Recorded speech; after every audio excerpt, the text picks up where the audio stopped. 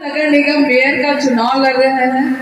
आप सबसे आग्रह है कि आपके जानने वाले लोग जो भी पटना नगर निगम में आते होंगे तो प्लीज़ आप लोग चर्चा करें, क्योंकि पटना नगर निगम को और भी सपनों का शहर बनाना है पटना को तो ज़रूरी है कि एक ईमानदार, शिक्षित और कार्य करने वाली जो महिला है, उनको आप लोग सहयोग करें, क्योंकि पटना में आज भी बहुत सारे लोग हैं जो अपने बच्चों को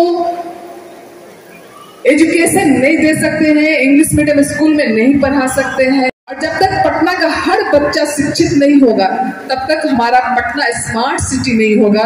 तो बहुत ज़रूरी है कि पटना को एक नए आयाम की ज़रूरत है। और मुझे आशा ही नहीं, पूर्ण विश्वास है कि आप सब ज़रूर पटना के लिए काम करेंगे।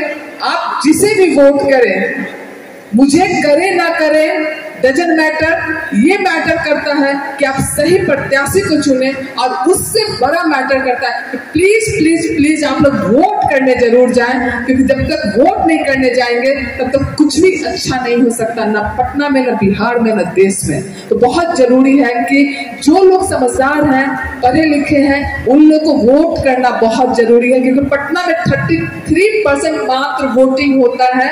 ये हमारे लिए बहुत दुर्भाग्य की बात है। तो पटना के लोगों से, और भी कहीं जहाँ भी आप रहते हैं, वहाँ के लोगों से आग्रह है कि आप लोग वोट करने जाए बहुत ज़रूर जाएँ।